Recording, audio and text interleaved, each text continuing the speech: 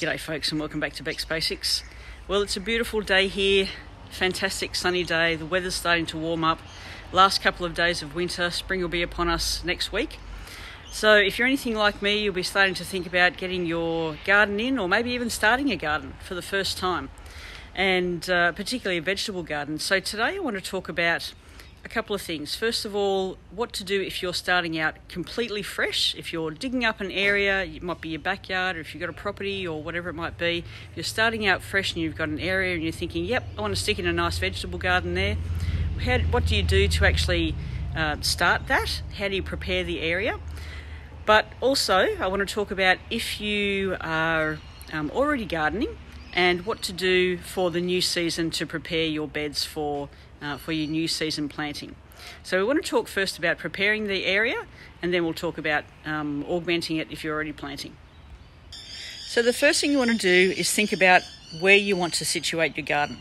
It's really important to make sure that your garden area has plenty of sun uh, and that it's away from other com- competing plants like big trees. You don't want to be planting a garden underneath big trees because they'll just sap the moisture and the nutrients out of your soil. So choose a site that's getting plenty of sun because most vegetables like plenty of sun. Um, so this area here, you can see it's about eight o'clock in the morning now, and you know this area is getting beautiful morning sun. But by contrast, this area uh, although it's still the same time of the day, is still in full shade. This area won't get sun probably until about 11 or 12 o'clock, and for some reason, morning sun seems to be the best for vegetables. Um, all day sun's the best. Uh, but if you can only get morning sun, that's that's the best type of sun you can get. So I wouldn't be digging up this area for a new garden um, because it doesn't get that morning sun, doesn't get enough all day sun. But this is a good area because it's getting that beautiful morning sun and it'll get sun for most of the day until sort of late in the afternoon, really.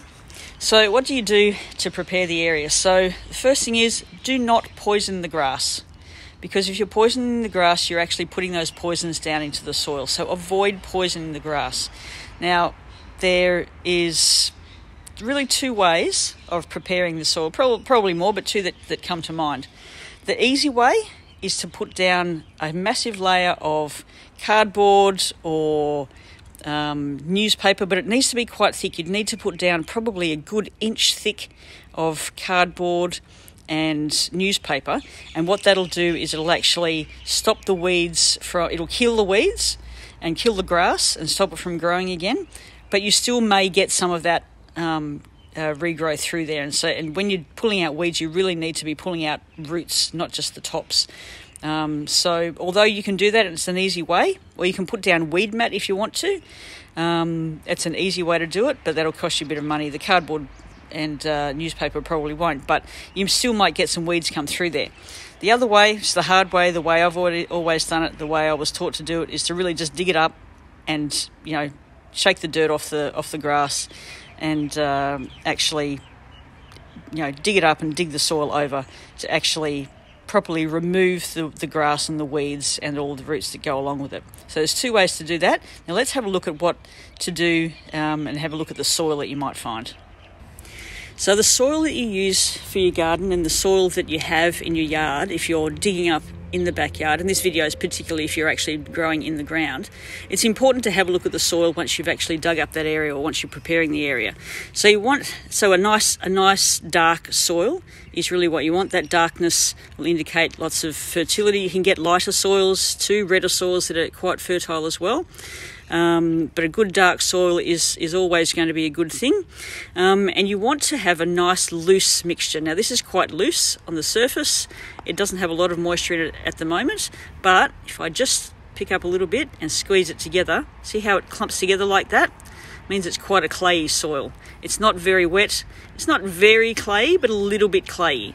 Now, when you've got clayey soil, in fact, you can see that bit there is really stuck together. It won't won't crumble apart. You want a nice crumbly soil, right?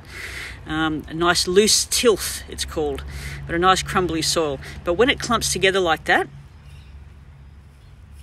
it means it's got a little bit of clay in it. You might clump it together and it sticks really hard together, and that means it's got a lot of clay in it. So you want to sort of try and um, loosen that soil up if you have it like that. Now, there's a couple of things you can do to uh, to loosen that soil up. So you can get a number of products that um, will break up clay. As you can see, we have you know clay soil here, so you can get clay breakers uh, and soil treatments that can actually break up the soil, and they'll treat the so- treat the the soil and, and, break it up a little bit. It doesn't do it completely, um, but it will make the soil better. But that's a that's a, a treatment that you do to the soil. I prefer actually to do it a different way and that is by adding compost or any sort of organic matter. So you could put straw or hay in there, preferably not hay actually, because hay's got seeds in it. Straw's better because it doesn't have seed in it, um, and if you have seed in it, you're going to get weeds. So a good compost, a good amount of compost, is going to help to break that up. So some sort of really good organ- uh, uh, organic, if you can get it, but organic matter uh, is what you want to. Even leaves would be good don't throw in things like um, anything that's got seeds in it because those seeds will grow in your garden. So try to avoid anything with seeds in it. Um, so good quality compost or some organic matter there and some manure. Uh, any type of manure will do. Sheep manure is good because it's got a quite a, um, a broad spectrum of, of nutrients in it. Uh, chicken manure is quite high in nitrogen, so if you're planting leafy greens, um, then you can use chicken manure. Uh, cow manure and sheep manure are good if you're planting really anything along the spectrum of vegetables, from leafy greens to root vegetables to to fruiting plants like tomatoes, uh, capsicums, those sorts of things. Um, and the reason that's that's important is because high nitrogen fertilizers will encourage leaf growth, uh, but others with a balanced um, nitrogen and potassium in particular uh, will encourage not only good plant growth but also lots of flowers, which will give you lots of fruit if you're growing things like tomatoes and, and other uh, fruiting vegetables. So, to, to uh, build up your soil, you want some organic matter and some manure. Now, that's going to help to break up the soil as well because uh, as you as they work through the soil and as the worms work those those items through the soil, and of course I'm not advocating for these particular brands; these are just the ones I had at hand. Um, but as you as the worms work those, those uh, products through the soil, they'll they'll start breaking up your soil, so your soil will become looser and looser. This has had nothing in it. This is just straight from um, under the ground, straight under our lawn, um, from where we've dug up dug up, dug up an area. Particularly from where my husband's growing a shed, so don't expect me to be showing you uh, growing vegetables in the ground. Um, it's just from over here where my husband's building a new shed, and you can see he's um, digging up. In fact, I'll take you over here and just show you quickly. Over here, you can see the, the soil here. It's really nice and black um, because this is a this area gets flooded, which is why I uh, grow plants in pots because this area gets flooded. So in effect, it's a floodplain, and any kind of floodplain is going to be, have rich, fertile soil.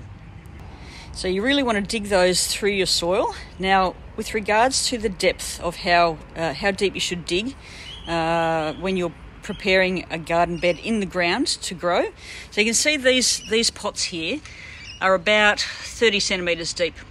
Now, when you're digging your yard or digging your area to, to grow your vegetables, you want to, to go at least that deep. About 30 centimetres is going to give a lot of, because what you're doing is you're loosening the soil up and loosening it so that the, the roots of the vegetables um, don't have to fight for nutrients. They don't get clogged up, they don't have barriers, etc. Um, particularly if you're growing carrots and potatoes and things like that, you want a nice deep soil anyway. Uh, so, about 30 centimetres deep is as uh, deep as you want to go.